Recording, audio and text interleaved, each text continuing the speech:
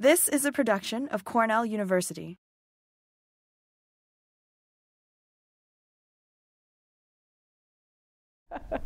so um, today I'm going to talk about some of the different types of projects that I've been involved in in Geneva.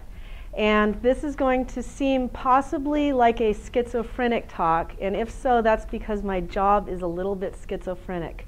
I work in two research units both the Plant Genetic Resources Unit, and those of you who are lucky enough to hear Joanne last week speak, she's in this unit, but I also work with the Grape Genetics Research Unit. So this one is involved in um, conservation of crops, and it's a seed bank sort of, sort of group. And this one is more involved in understanding grape genomics and genetics and disease resistance. So let's just start by talking about what is a computational biologist. There's a lot of terms you hear bioinformatics, computational biology, and I like the term computational biologist because it explains the fact that I am first a biologist, but I do it by computers. So my original training was in genetics. I think about the structure, function, and evolution of genomes but I do it in a computer instead of at a lab bench or in the field. So that's the perspective that I come to this with. I started as a biologist and then added the computers. So here is why what I do is going to sound a little bit complicated, and that's because it is. 80% of my time is paid for by the folks who work in the clonal repository, and clonal just means that these crops are grafted. So that's the apples, the tart cherries, and the grapes that we curate in Geneva, and we distribute the germplasm and characterize it, and I'm part of the characterizing process. 24% of my time were, is working with the seed repository, and there are many, many vegetables in this repository. Joanne is in this group, and one of them is tomato, and you'll see some uh, work that we did in tomato there together. 15% of my time is on apple rootstock breeding with Gennaro Fazio, who's in this, this section. And then the remaining 20% of my time is split between working on grape scion genomics and grape disease resistance. So I work on a vast variety of types of questions and a vast variety of organisms. And so what you're going to see today is going to cover a lot of organisms and a lot of questions.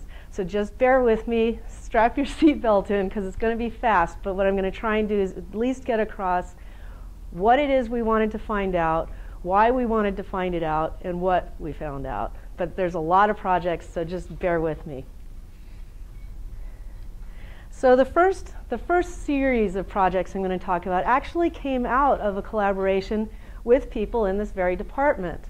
Um, Courtney and Surin approached me many years ago and asked me, what could we do with the resistance gene analogs in rubus? And I realized there's an opportunity here to work out a system that could be applied to the other crops that we have in our repository. And so we did that.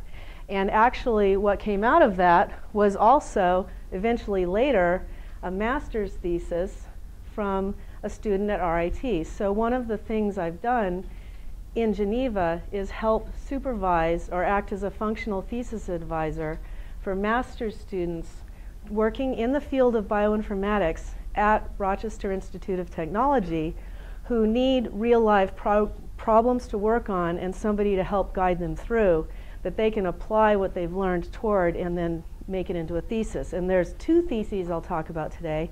And one of them um, was done with Aubrey Bailey. So it's kind of neat to see the progression, and one of this project actually came out of something that was a collaboration originally from this department. So in this project, we collected a whole bunch of um, resistance gene analogs. Now what's convenient about these NBS LRR resistance genes is that they have conserved frag sections that can be used for sitting primers down and then you can amplify between them to get the variable part. And you can all, because that's a convenient thing to do, lots of people have done this in other organisms besides the ones that we gathered the sequences from. So we gathered a whole bunch from GenBank.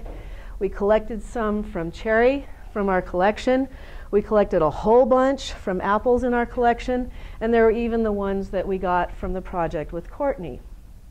And with these, what Aubrey, the student from RIT, was able to do was to cluster these and we were able to see, classify these resistance genes according to what their sequence similarity was based on a um, hypothetically translated protein sequence.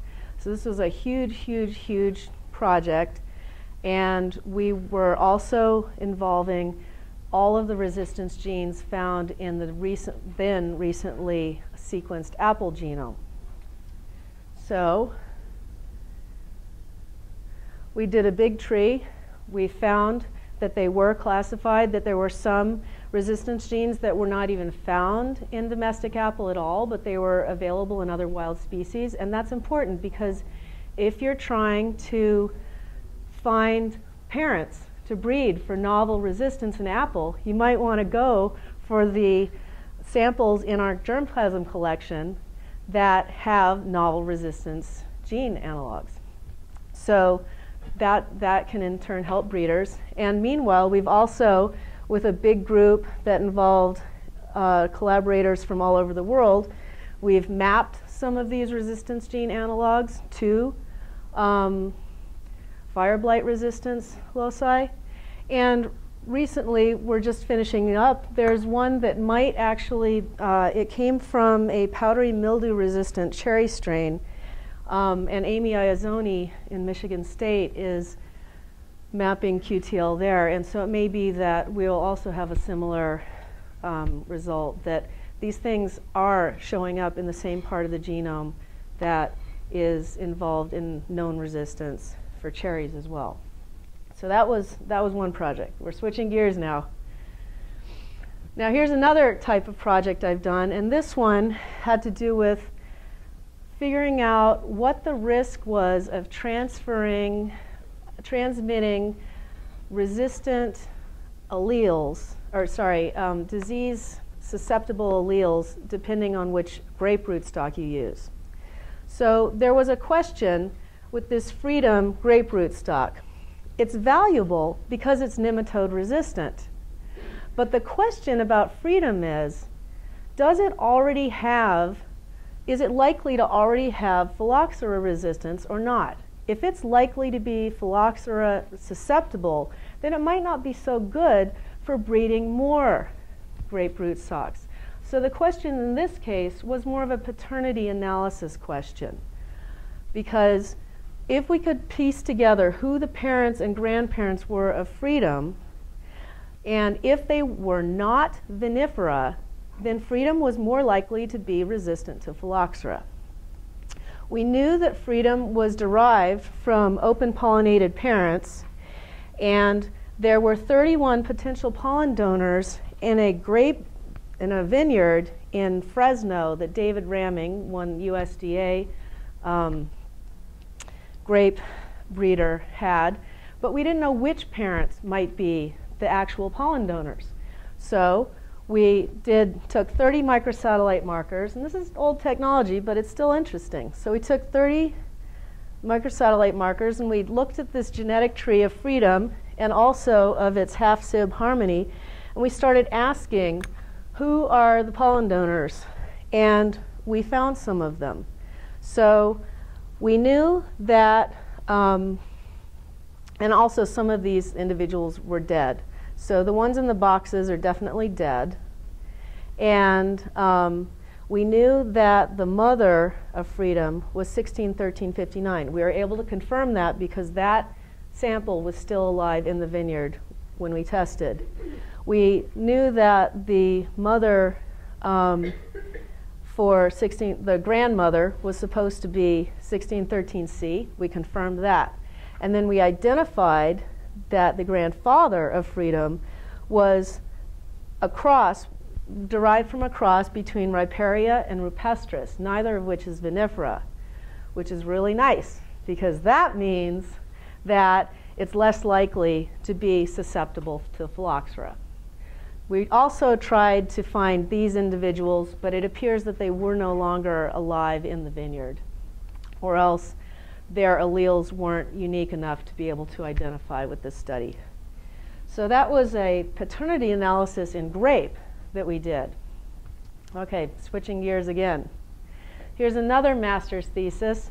This one's on a completely different organism. It's not even a plant. We're talking about fungi now.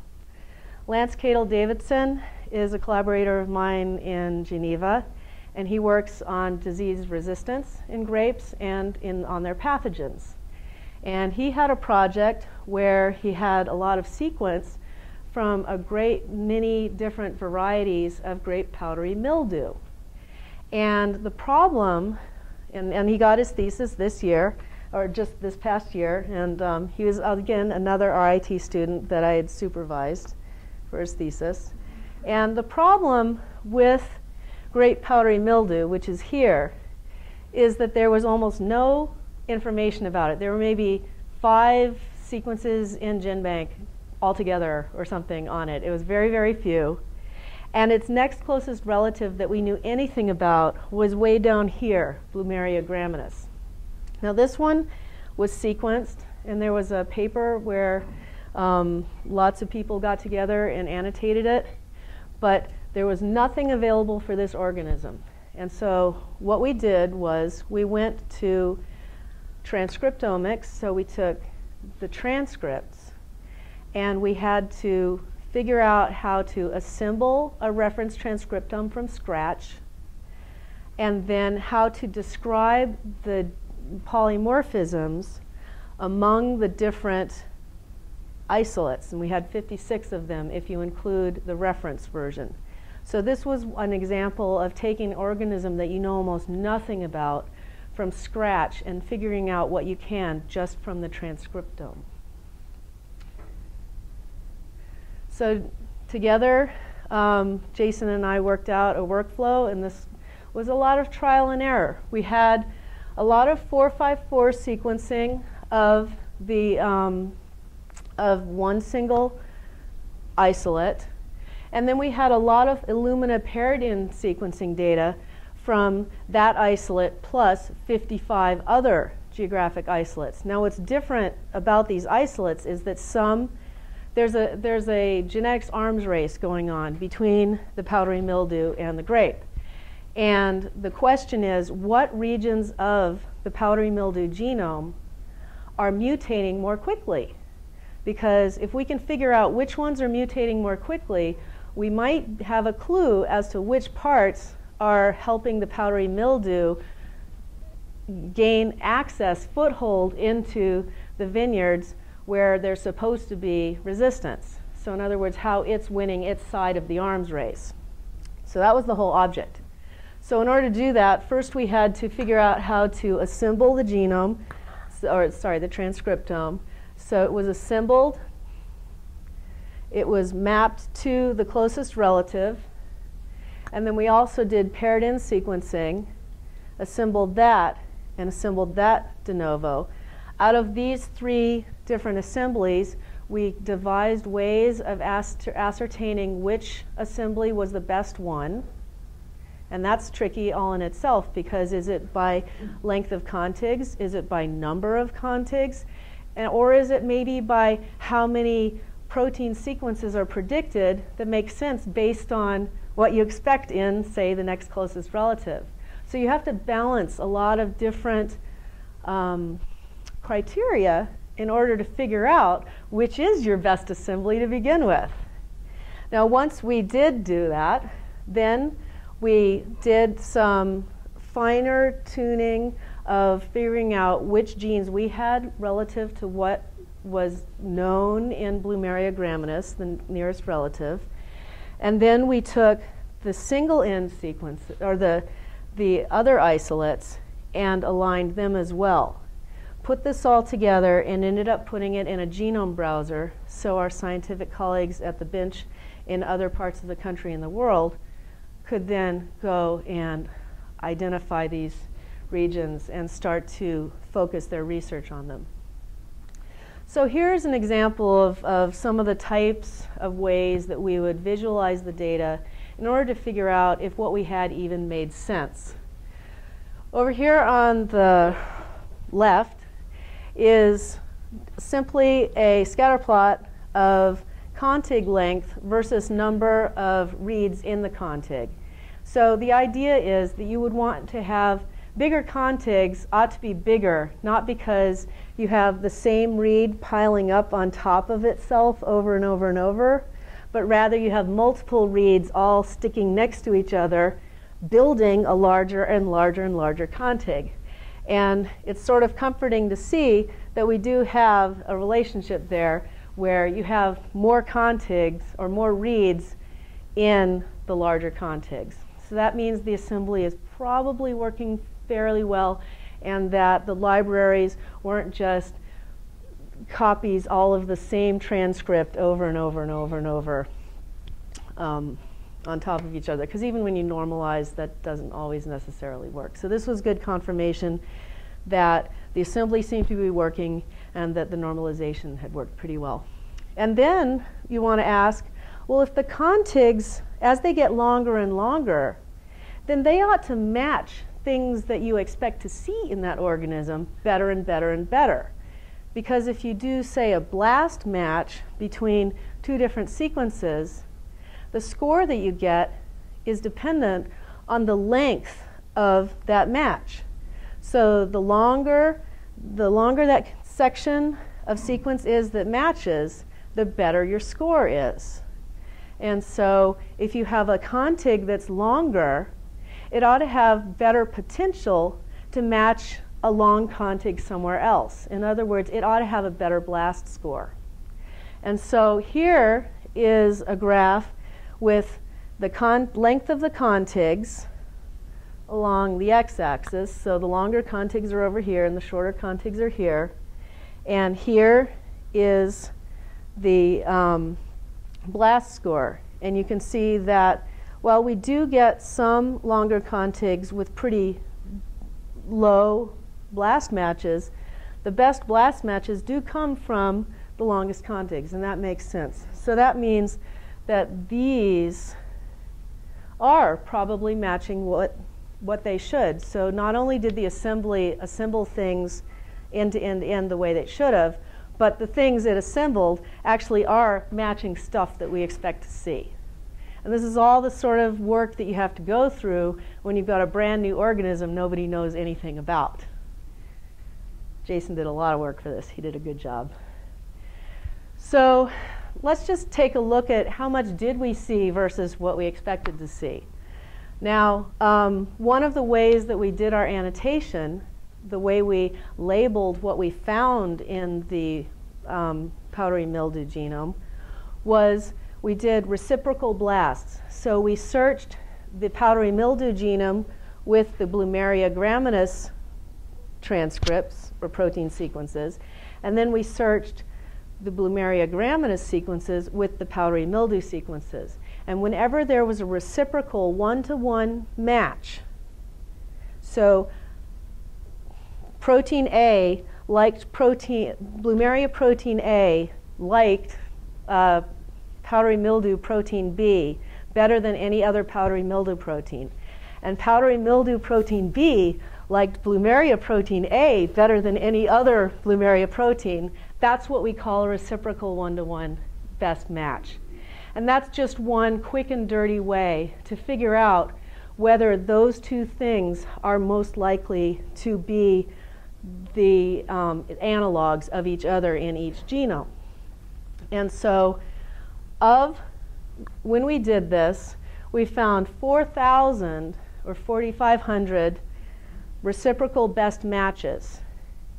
In the Blumeria genome altogether, we had only 6,000 queries. So that means if, if powdery mildew has about the same genome size and about the same number of proteins in its transcriptome as Blumeria, then we found over two thirds of them. And that's pretty good. And they're not the closest relatives in the world. I mean, when you saw that tree, there's a lot of things in between. And fungi mutate quick. So it's not bad. It's, I mean, for, for the next closest relative. Um, and that was how we labeled the genes or the proteins that we found in powdery mildew.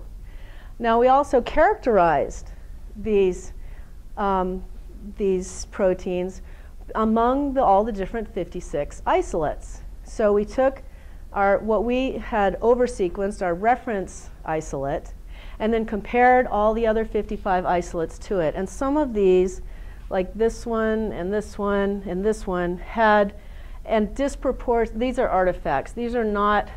Um, these these numbers of SNPs and indels are not because of biological fact, but because these are actually pooled samples themselves.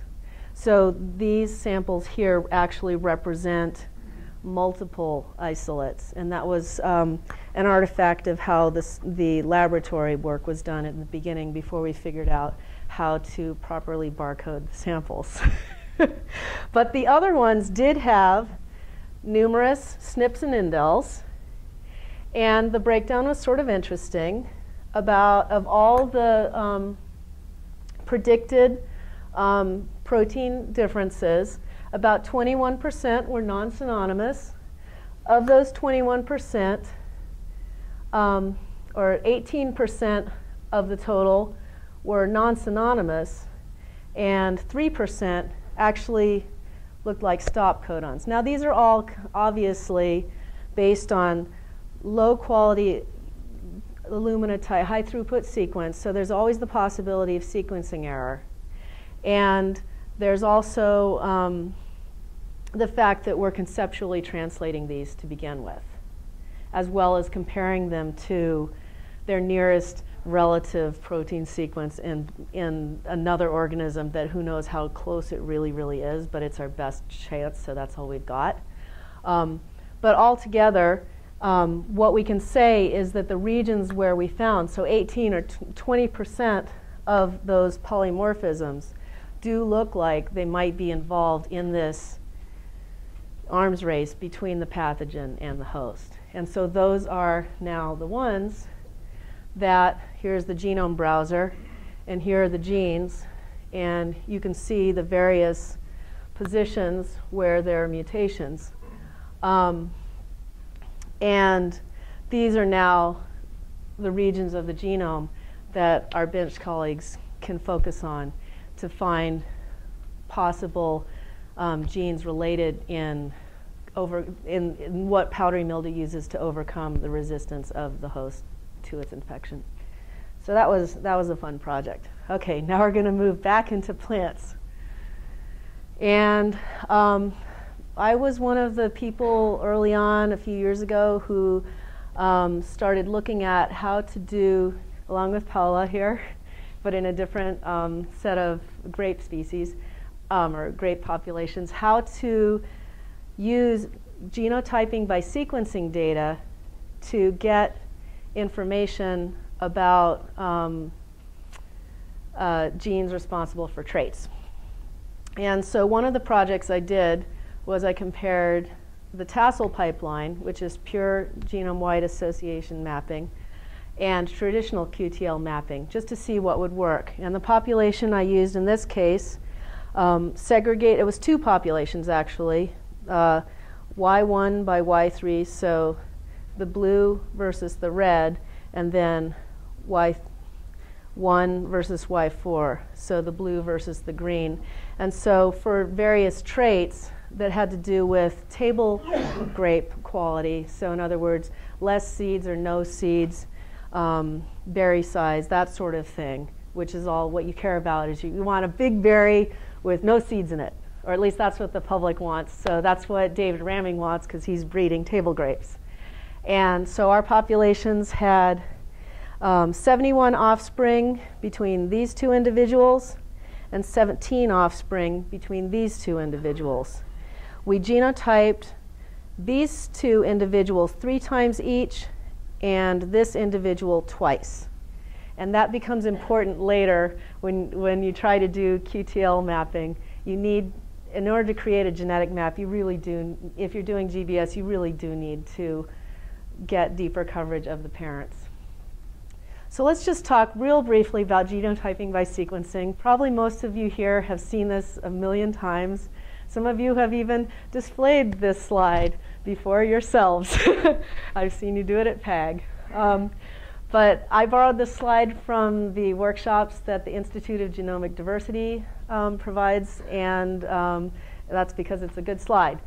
Basically, genotyping by sequencing is a way of getting polymorphism out of a genome with just using restriction enzyme fragments and high throughput technology. I'm not going to go into a whole lot more detail about it right now, but basically what you need to know is we do genome complexity reduction by choosing the restriction enzyme.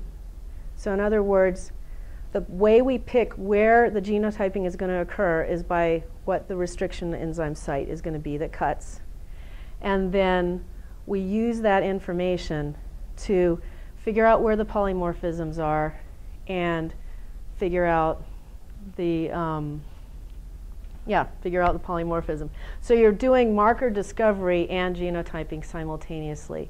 The advantage of this over chips, if you haven't heard this already, is if you have a SNP chip, you have to already know what the diversity you expect or what the polymorphisms you expect to see are going to be. Otherwise, you won't see them because you're not assaying for them. This way, if it's there in a restriction site and you cover the genome deeply enough, you will see it. And so you can either have a loss of a site, which is a lot harder to see because these data are very patchy, or what you can have is a difference in sequence between two sites, and that's much, much easier to ascertain. Just as a side note, I tried to do a project for somebody once where sample two was gamma irradiated, so there were big, there are supposed to be deletions in the other genome, and it completely failed with GBS. So it, if you're thinking of trying to find deletions by GBS, talk to me first, because there's a lot of issues. And, and we, I gave it a really hard, good, solid try, and I wasn't able to do that. So I would not actually consider it very good at finding deletions. But it is good at finding polymorphisms when the site is found between multiple organisms. So it's pretty cheap, it scales well, it, there's no ascertainment bias, and then lab-wise it's nice because you don't have to size fractionate the way you would have to do with RAD tags, which is another way of doing this sort of data gathering. And you can pick your restriction enzyme based on how frequently it cuts and whether or not it's methylation sensitive and so on. So if you're trying to avoid certain parts of the genome that might be methylated, say you want to go for the euchromatin, I'm probably dating myself using that term, right? If you want to go for the parts of the genome that have the genes in them versus the non-coding part of the genome, you might want to go for methylation-sensitive enzymes or something like that. So um, that's what's nice about that, and so you can pick how often you get a marker and so on. So let's go back to these two great populations. Um, called and mapped genotypes. There are 19 chromosomes in grape with the QTL analysis, um, there were many fewer markers called for each chromosome.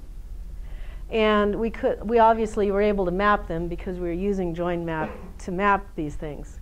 With Tassel, which was a GWAS method, we used all of the taxa, not so for for these this for uh, this version, we used um, just the biggest mapping population, the 71 offspring. For the GWAS, we were able to throw all the data in.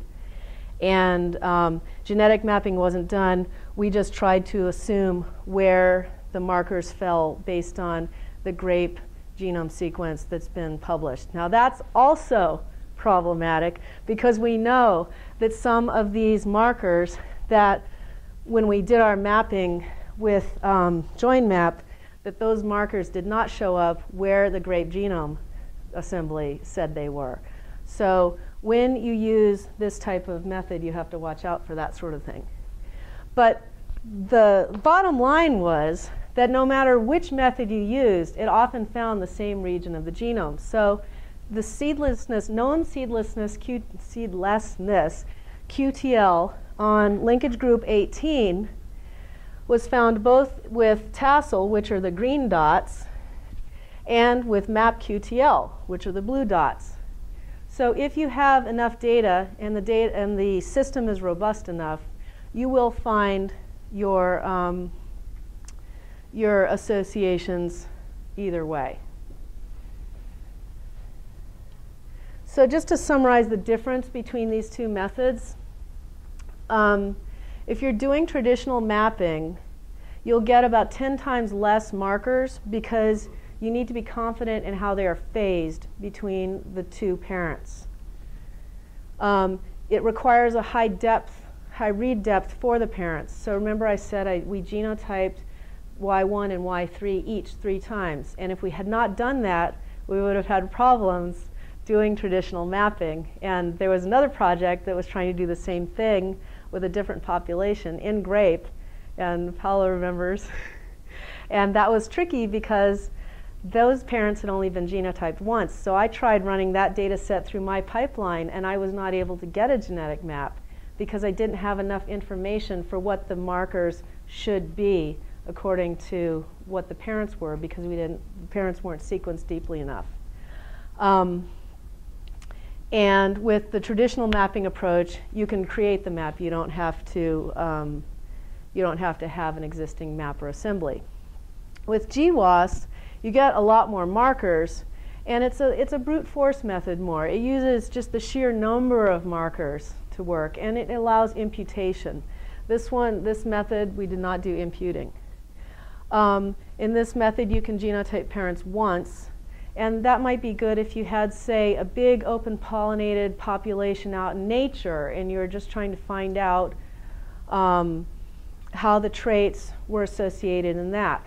Um, or if you had a population that you inherited from another breeder and you weren't really sure how the individuals were related because you couldn't find their notebooks or something like that. Um, but it was a valuable enough population to spend time on because it had the trait you wanted. So um, GWAS would probably be better for that. Um, now, it turns out that the VITISGen project is actually working on a way to do mapping, genetic mapping, from these data without having to go through some of this process. And I'm, and I'm really excited to see how their unique pipeline will work in some of the projects I'm going to be, that I'm working on at the present. So stay tuned, and I'll let you know how that works out. Okay, we're going to switch gears again. Um, but this time only to a different grape population. And I just want to show you, um, this is one of those slides that I had to make purposely vague because I know this is going to end up on YouTube. Um, we have mapped a grape trait, a developmental trait, to one of the chromosomes um, with really strong QTL evidence using this same technology where we take the GBS data, we filter it down, and then we do traditional um, genetic mapping and QTL mapping with it. And this population is beautiful. It's got 142 offspring, which is huge for a clonal crop. It's great. Um, we ended up with a little over 2,000 markers on a paternal map because the trait is segregating between uh, in the in the father, and we got a decent number of markers in each of the linkage groups, about 100 or so. And so here's, here's a trait, and uh, hopefully by this time next year I'll be able to tell you what it is openly because we'll have published it. okay, um, finally, um, one other thing I thought would be fun to tell you about is sometimes when I'm doing the type of work I'm doing, there aren't tools to do what I want to do. And so part of my job sometimes, not so often most of the time, because most of the time there are other research labs out in the world doing what the same kind of thing and I can take their tool and use it for our purposes. But sometimes there isn't a tool like that or I don't know about one or I think of one and then I make it. So I just thought I'd mention this one to you guys just for fun. So in this tool, um, it was a, it was a, it was came out of an idea I got from attending Carl Siebert's course. So anybody here who hasn't attended or thought about attending Carl Siebert's chemometrics course, ought to think about it, especially if you ever spend time in Geneva, because it's not just about wine and beer characteristics. It's about how to do multidimensional analysis. And I am not trained in statistics. I'm a geneticist, you know? I was trained in like molecular genetics and a little bit I had to teach classical genetics when I was a when I was a grad student. But statistics is not something I'm I'm that strong in. And so I really enjoyed taking Carl Siebert's course in Geneva. And one of the methods that he taught us about was how to do principal components analysis. And I started thinking about this and I thought, you know, genetically, if you have two homozygotes and a heterozygote between them, from a genetic perspective, the heterozygote is actually genetically intermediate, right? If the traits are codominant. So why not do piece code those those genotypes as ones and zeros and twos and treat it like PCA and see if you get correlations between the genotype and a trait or a, or a behavior or, or some kind of characteristic that you're interested in. So we tried it and it works. And what's really cool about it is that it's a way to assess genetic correlation um, between the markers and the characteristics because you can get a principal components loading plot. So you, you can actually say, okay, which principal coordinate actually separates my sample according to, say, fruit size or something. And if, and, if, and if one of them does, and the bigger fruits are over here and the littler fruits are over here, according to that one principal coordinate, then you can actually take this, the data and go back and ask which markers contributed to that principal component, which, which ones are actually giving, which genotypes, which alleles are giving you that axis.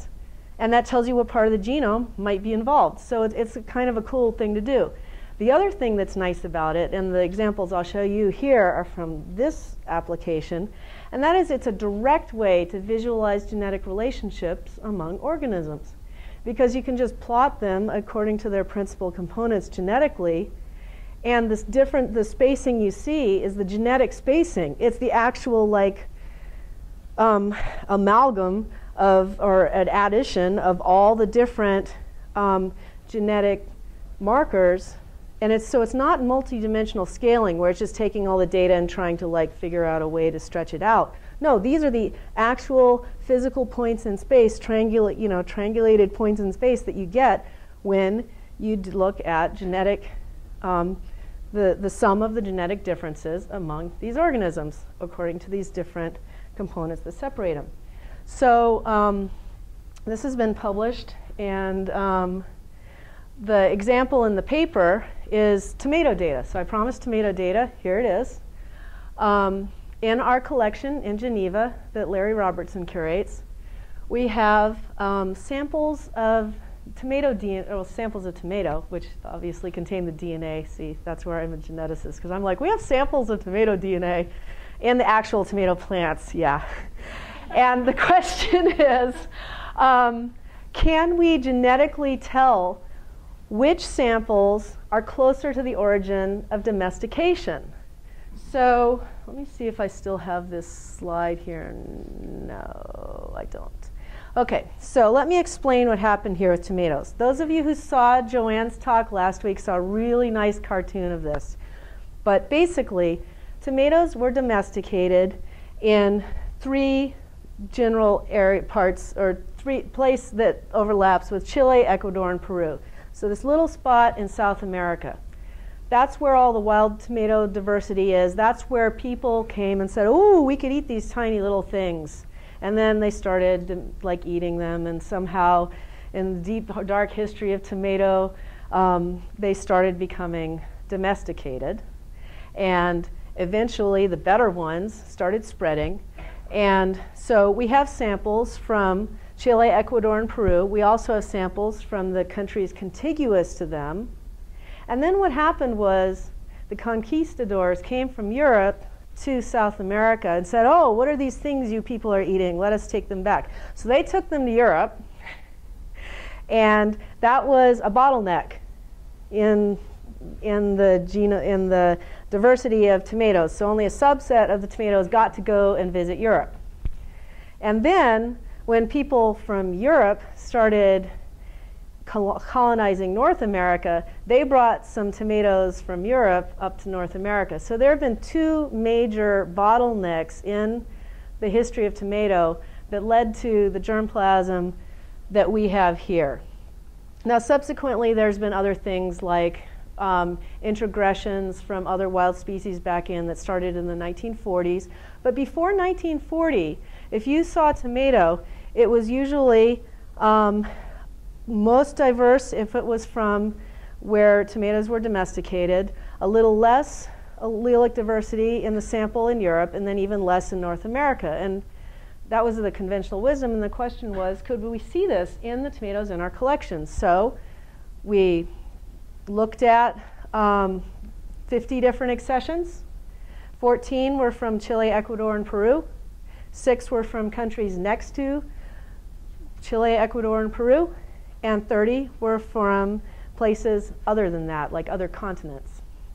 And sure enough, um, first of all, it's kind of interesting. The first principal component explained 20% of the variation in the data, in the genetic data. The second principal component explained 10% more, and the third explained 6% more. So only probably, I mean, you don't really need to look deeper than three unless you wanted to say, compare fruit size or something like that. And maybe one of the components later than that might explain the specific kind of variation you're interested in. But if you're looking at just the diversity among the samples and not looking for certain traits, traits, diversity in a certain trait, then this is probably good enough just to stop at the first three.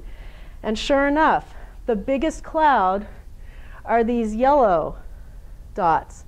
These represent the 14 samples from the primary center of diversity. And the red dots are a little bit less inside of that cloud. They're a subset of that cloud. Those are the ones that made it to places like Argentina, where they're contiguous to Chile, say, but not in the, in the center of diversity or where they were um, domesticated originally. And finally, when you look at the last few, which is the last 30. It's hard to see in this picture, but actually that is, it, you can actually rotate these plots if you use R, which is a really nice stats package that's free. Um, you can see that the blue dots are actually inside of the yellow dots and actually smaller than this big red disk. And so actually it worked. And you can actually see that the um, tomatoes that come from the places furthest from where they were originally domesticated have the le least allelic diversity. This method also works in grapes. We did a big study where we looked at 120 accessions of grapes, both in our collection and some from China that were brought by our collaborator. And we asked, how do these things look if you sequence 30 different genes and you throw their, their sequences into this PCA thing, what does it look like? Well, here are the first three principal components. And the North American grapes are in this pale blue color. The European grapes are in this sort of orange color. And the Asian grapes are in the blue color. And there are a few that are known hybrids that are other colors. And again, what's really interesting to see is that some of the North American grapes that come from the part of North America near Asia are a little more like the Asian grapes. Kind of interesting. And we were also able to show with this, we were able to see in some cases where things that were labeled as North American were probably hybrids with vinifera, like this one here. So it's a, it's a, it's a fun, it's, it's fun sometimes to develop your own tools to answer questions about what you're seeing in the data. And this project is being written up by Heidi Schwaninger and a team of us in Geneva. Actually, it's been written up and it's, it's we're in the cycles of submitting and resubmitting at the moment. So that's a fun, a fun thing too. So, um, looks like I'm going to leave enough time for students to ask questions, which will be nice. Um, we have some other projects in the works, just big ones. Um, I've just started surveying apple germplasm for sRNase alleles. And this is coming out of a project that um, was spearheaded by Ganyuan Zhong and Sean Myles, um, that you may remember from working with Ed Buckler on grape uh, SNP diversity. And what they're doing is, or what, what we have all as a group done, and this also involves collaborators in Fort Collins too. Um, we've taken 42 species and 1,600 accessions from our collection, as well as some other um, domestica, proprietary domestica varieties that we don't have our collection, and done a huge GBS survey of them. And um, two enzymes were used. Remember I mentioned that in GBS you can use uh, different enzymes. You can also combine enzymes to get different coverage of the genome. And of that data, what Sean and his team are doing are looking at the diversity among the apple germplasm. But because these data involve small snippets of sequence, it's also possible to hunt in them for genes of interest, known genes of interest. And so one thing that I'm doing with Gennaro Fazio is hunting for um, markers in the region of the sRNase alleles. And I guess I should explain what the sRNase alleles are and why this is important. Apple is self-incompatible. So if you want to make an apple that breeds true, the only way to do that is to graft it. That's why it is a clonal crop. Okay, now many, many of you may already know this, but in case you didn't, now you do. If you want to breed one apple to another, it has to have a different sRNase allele.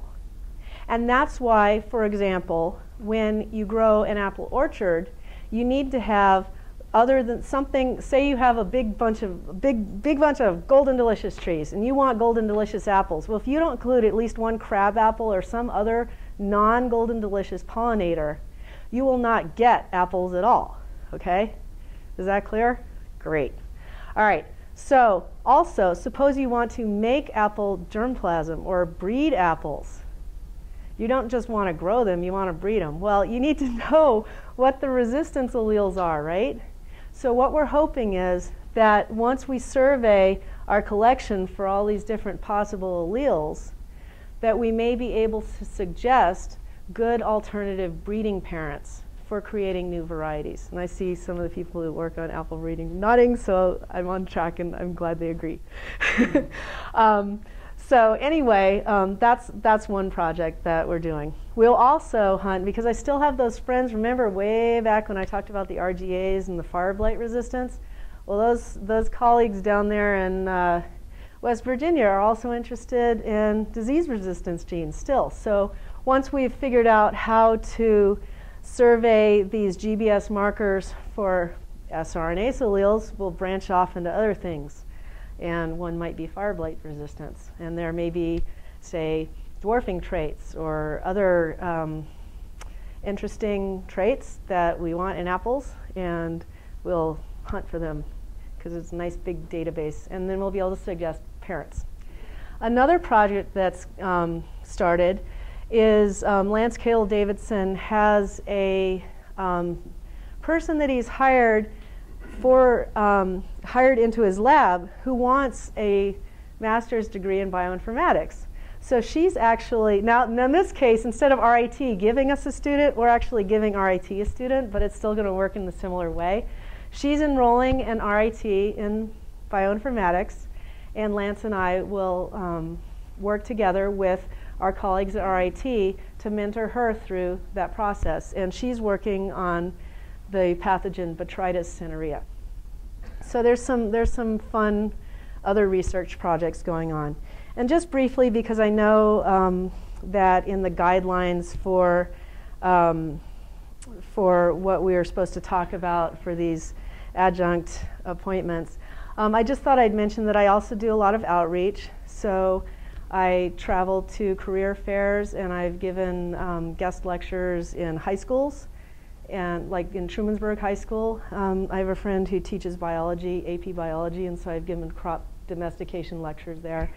Um, we help with um, making DNA with kids.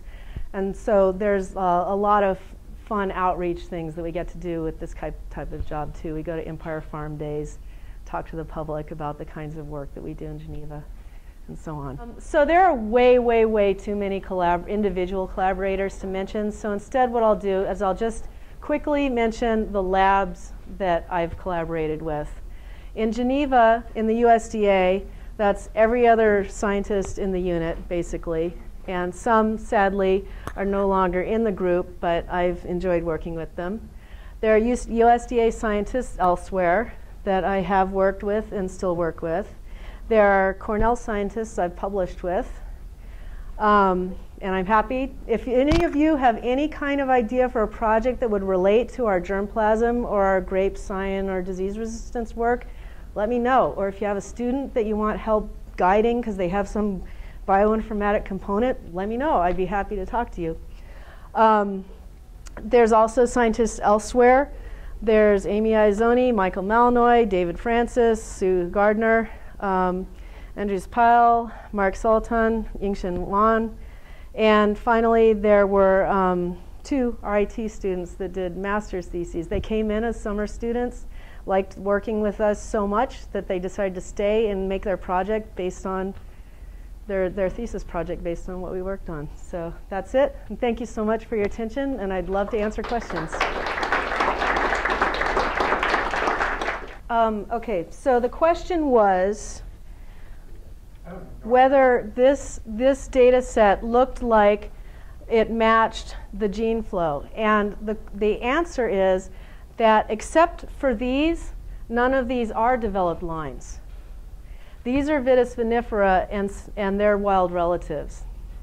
And the rest of these are all basically wild accessions. And so nobody really knows how grapes evolved. The problem is that there looks like there was one big giant explosion of grapes all at once. And so that's part of the problem with visualizing these data with a phylogenetic tree is because what you get is a big brush of, of everything all splitting off almost at once. The other thing that's tricky is that almost all of these freely interbreed with each other. So as soon as you move one somewhere else, they just start happily interbreeding. There's only one grape in North America and that doesn't do that because it has a slightly different number of chromosomes. And um, and even it can be made to crossbreed.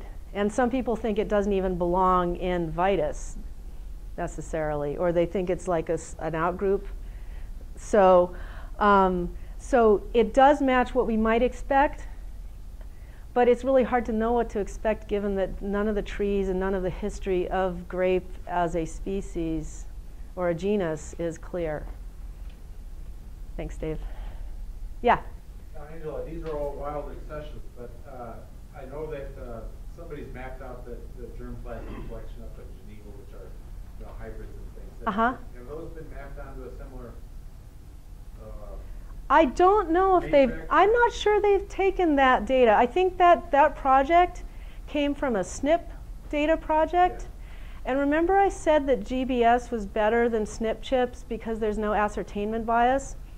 The problem the reason SNP chips are bad for some organisms is because if you have a highly outcrossing clonal crop, so this thing is not an annual and it's, and it's highly outcrossing, you have so much heterozygosity expected and so much diversity that if you use chip technology to assay a collection, you're going to miss all of the diversity that wasn't in the original samples that were used to design the chip. And so even if it, I, I, I can't really say because it was not exactly the same collections, first of all, and, or the same samples, but even if it were, it's, we were directly sequencing with PCR. So if we found diverse, if there was diversity, we found it and they were they used a different technology And so I'm not sure that what they found would have been representative. But then on the other hand, they were surveying more of the genome, whereas we were only surveying 30 locations. So it's hard to, it's hard to compare those. Okay. But, but as far as the conventional understanding of how grapes evolved in general, I would say this is pretty accurate. Maybe we didn't expect two separate lumps of North Americans. I think that might have been unexpected. And definitely, um, as far as identifying hybrids and mislabeled accessions, this works too. This corroborates that sort of thing. Yeah.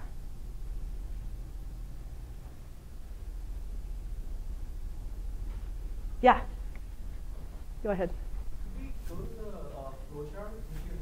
Oh, for the powdery mildew? Sure. Oops. Yes. Yeah. Uh, was there a particular reason why you did not decide to combine 454 and Illumina together? We did try to do that, but the computers we had access to were not powerful enough, and this guy needed to get out. He was only working on a master's, so we only had him for a year. we couldn't keep stu- keep. Nope, nope. Sorry, you have to stay here for three more years. so if if if we had had access to more powerful computers and more time, I think a hybrid assembly would have worked. But unfortunately, it didn't because of technology. Thanks for the question. Yes. Do we know how long ago that explosive radiation occurred in grapes? Um, we have an estimate, and I cannot remember what the number is, but I can look it up for you if you're interested. if it's pre-human or I believe it's pre-human. It's probably pre-human, but you know what? I will look it up and I will get back to you on that. Yes. And the North American and Asian populations look very distinct. uh, Yes. The North American and Asian, whoops, sorry, wrong way.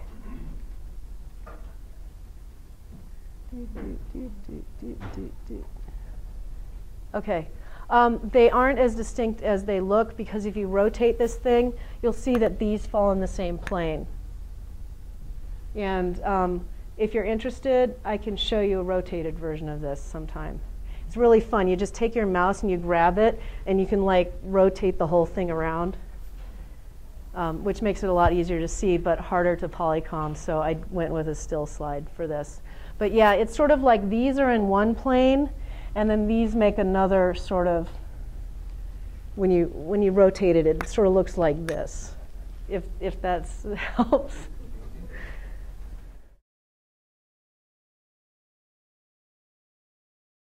This has been a production of Cornell University on the web at cornell.edu.